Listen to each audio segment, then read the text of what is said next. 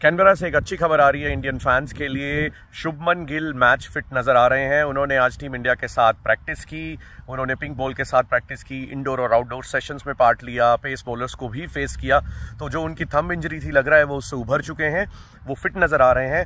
क्या वो कल के प्रैक्टिस मैच में खेलेंगे, उसके ऊपर अभी कंफर्मेशन नहीं है बट जिस अंदाज से वो बैटिंग कर रहे थे मैच फिट नज़र आ रहे थे तो बहुत ज़्यादा चांसेस हैं कि वो एडिलेड में टीम इंडिया का हिस्सा होंगे एडलेट में टीम इंडिया की बैटिंग को और ज़्यादा स्ट्रॉन्ग करेंगे। तो जो एडलेट का मैच है, वो काफ़ी क्रूशल होगा बहुत दोनों टीमों के लिए। इंडिया को एक शून्य से बढ़त है और इंडिया चाहेगा कि दो शून्य इसको कर दिया जाए। तो वहाँ पर अगर शुभमन गिल मैच फिट होते हैं और टीम इंडिया का हिस्सा बनते हैं पिंक बॉल टेस्ट मैच में तो बैटिंग लाइनअप और ज़्यादा स्ट्रॉन्ग हो जाएगी। आपको सबको याद करवा दें कि एडलेट के अंदर बैटिंग करना इतना आसान नहीं है। हमारे पास बुम बुम बुमरा है। उन्होंने तो नींदें उड़ाई हुई हैं ऑस्ट्रेलियन बैट्समैन की बट हमें भी ऑन दी अदर साइड अपनी बैटिंग को मज़बूत करना है, क्योंकि वहाँ पर स्विंग होने वाली है बहुत ज़्यादा बॉल पिंक बॉल यूजली करती है। टॉयलाइट सेशन में हवाएँ चल पड़ती हैं एडलेट में तो और ज़्यादा स्विंग होगी। पहले दो दिन थोड़ा मौसम भी ऐसा ही है।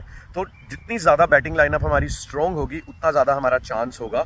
एडलेट टेस्ट मैच में जीतने का। तो एक अच्छी खबर आ रही है कैनबरा से कि शुभमन गिल मैच फिट नज़र आए। बाकी टीम ने आज काफ़ी प्रैक्टिस भी की इंडोर आउटडोर सेशन भी किया। मैं अभी एडलेट में हूँ, फ़िलहाल कैनबरा के अंदर हल्की बारिश हो रही है। बट फिर भी टीम ने पूरा टाइम यूटिलाइज किया, जो ट्रेनिंग सेशन उन्हें मिला हुआ था, उन्होंने प्रैक्टिस की विराट कोहली रोहित शर्मा दोनों बाहर रिमझिम बारिश के बीच में भी प्रैक्टिस करते हुए नज़र आए।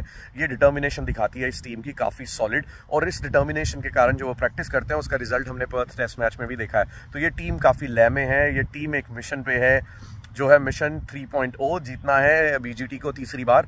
तो आज टीम इंडिया के सभी प्लेयर्स ने ऑलमोस्ट प्रैक्टिस की। जैसा आपको बताया, शुभमन गिल, एक बहुत बड़ी न्यूज़ आ रही है कैनबरा से। कैनबरा में मौसम जैसा रहने वाला है। कल बहुत ज़्यादा बारिश होने के चांस है। तो हो सकता है हमें गेम देखने को ना मिले। शाम के टाइम शायद थोड़े ओवर्स हो जाएँ। डे एंड नाइट मैच है तो देखते हैं कितना इम्पैक्ट होता है इसके ऊपर। डे टू पर भी बारिश की उम्मीद है बट इतनी ज़्यादा नहीं होगी। तो ये आज की अपडेट ऑस्ट्रेलिया से।